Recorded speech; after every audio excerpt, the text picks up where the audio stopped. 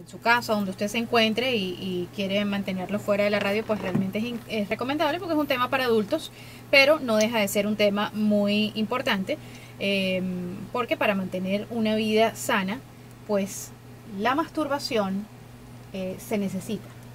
el ser humano necesita la masturbación y hoy vamos a conocer un poco sobre cinco beneficios.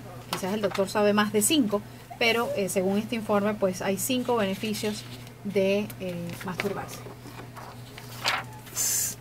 No es mi ánimo criticarlos en la presentación, pero lo primero que tendría yo que decir en, en esta presentación es, si fuéramos a hablar del ejercicio, ustedes hubieran hecho la introducción que acaban de hacer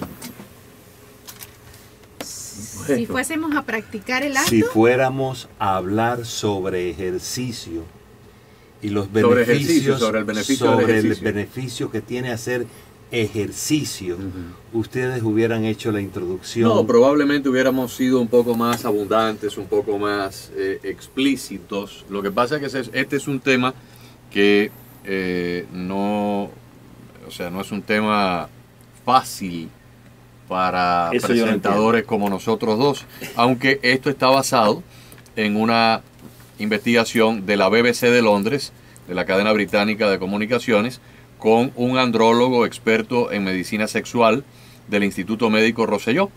O sea que no es una cosa sacada del sombrero de un mago, ¿no? Tiene una base científica. Exacto. Y por eso queremos que usted sea el que lo desarrolle.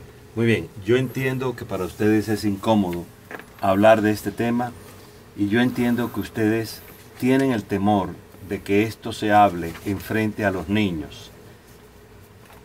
Pero voy de nuevo al punto. Ustedes hubieran hecho una introducción como la que le hicieron a los padres que nos están oyendo si fuéramos a hablar sobre los beneficios del ejercicio en el ser humano? No, no, claro que no. Simplemente que, bueno, los, yo, los padres tienen que decidir el momento en tener esa conversación con sus hijos y pues no queremos que les tome de sorpresa porque de repente si yo estoy al lado de mi hermana que tiene 12, 13 años, pues me gustaría que escuchara su opinión experta, pero si tengo un niño de 5 o 6 años, pues creo que no es el momento. Muy bien, estás pensando como el adulto que ha sido educado como todos los adultos en este momento, los adultos que existen en estos momentos. Es decir, ustedes, ustedes son los adultos que están en el momento de la transición, de hablar tranquilamente acerca del sexo, y los adultos que, se sienten incómodos hablando del sexo porque recuerdan claramente que la única forma acerca de la cual aprendimos porque lo vimos, porque lo oímos y porque participamos. En hablar del sexo era a través de dos formas. Si eras una mujer en muy, en, muy íntimo contacto verbal con personas muy íntimas como mamá y las hermanas o la amiga muy íntima, o a través de chistes. Esa ha sido la forma en la que nosotros, la sociedad, hemos aprendido a hablar de sexo, a través de chistes. O entre hombres en forma vulgar. En la calle. En la calle. En la calle. En la calle en forma vulgar. Ok, no es posible hablar de... Tú has hablado, Agustín, de masturbación con tus amigos. Pero cuando has hablado de masturbación con tus amigos, tú sabes muy bien que la forma en que tú hablaste de masturbación con tus amigos fue en forma vulgar. Y en esa forma te sientes más o menos cómoda hablando con tus amigos. Pero tú no te sientes cómodo hablando con tus amigas acerca de masturbación.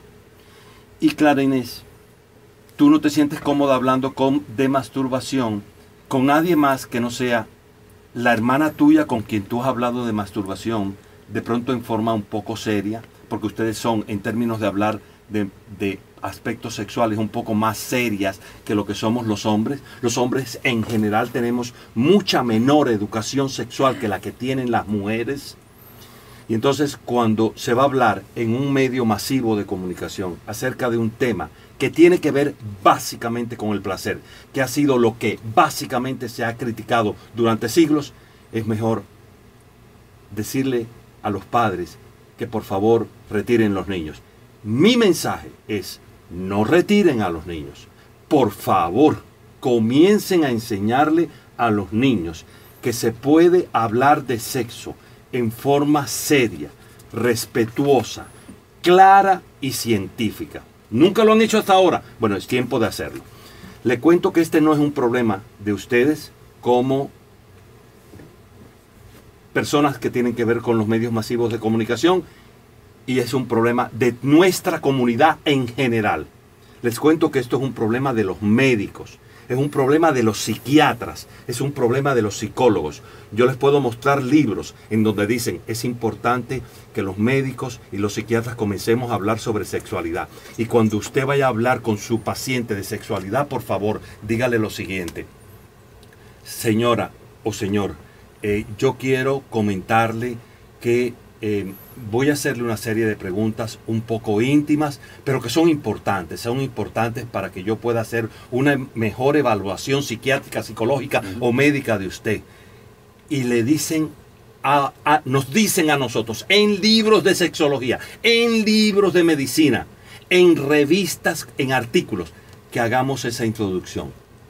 Los médicos y los psiquiatras y los psicólogos no hacemos ninguna introducción cuando tenemos que hablar de la presión arterial, cuando tenemos que hablar de la diabetes y cuando tenemos que hablar de aspectos íntimos que no tienen que ver con el sexo, porque hay aspectos íntimos de la vida de un ser humano que no tienen que hablar que no tienen que ver con el sexo. No hacemos ninguna introducción. Si tenemos que preguntar algo, sencillamente preguntamos. Déjeme, dígame una cosa, señora, ¿usted ha tenido asma? Dígame unas cosas, señora, ¿usted ha tenido un infarto cardíaco? No hacemos ninguna introducción. Por favor, no hay que hacer ninguna introducción ni prevenir a ninguna persona de ninguna edad a hablar sobre ningún aspecto de la sexualidad. es importante. ¿Cómo se le explica y en qué momento se le explica a un joven, a un pequeño, cómo se le comienza a hablar a un niño de este tema? Yo diría que de la forma como estamos hablando ahora aquí. ¿Cómo le explicas tú a un niño cómo ser arroz?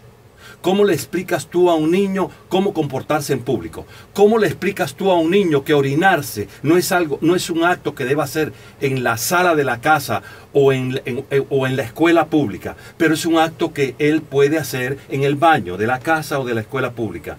¿Cómo le explicas tú a un niño que hay conductas que son normales, que se pueden hacer en público y hay otras conductas que son normales, pero que uno no debe hacer en público. De esa forma.